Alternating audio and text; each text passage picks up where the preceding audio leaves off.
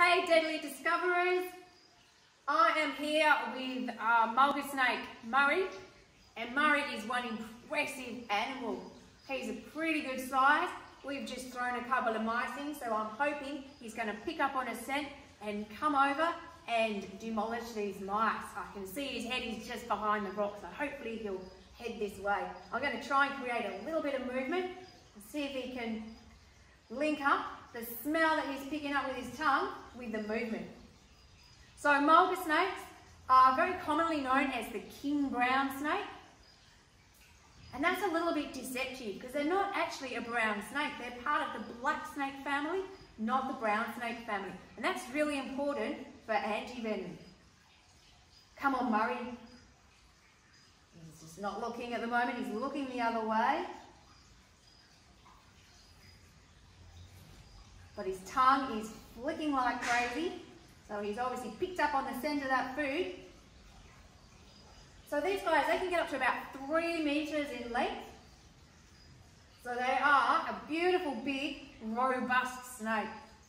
They are found, they're pretty widespread throughout Australia. So they're not found where we are down in the southwest of Western Australia, but they are pretty widespread throughout the rest of Australia, found in every single state. They can vary in their coloration.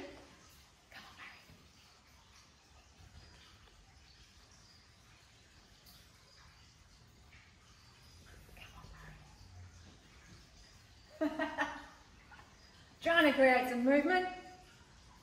A bit of a dance. He will get here. Here he comes. Come on, Murray. So this is, food response has been activated in this snake now and he's frantically trying to find where the food is. It's behind you, buddy. So I'm going to stay nice and still so he doesn't get distracted by me. And hopefully he just relies on his tongue. Here he goes. And you can smell it. Bang! Boom, into it. So he's found his mice. Perfect. So he is now pumping venom in. And the mulga snake is not particularly strong, but they're rated as number 21 in the top most venomous snakes of the world, even though that's all based on research done on mice. It's no indication of what it does to humans.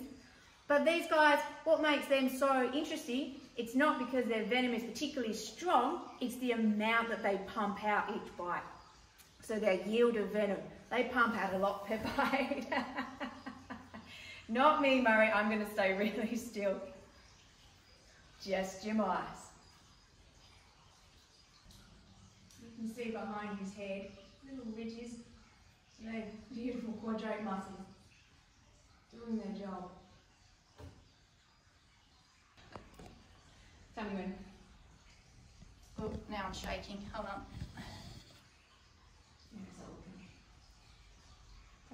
Yep. Thanks for tuning in, guys. And just remember, no snake is dangerous if you leave it alone.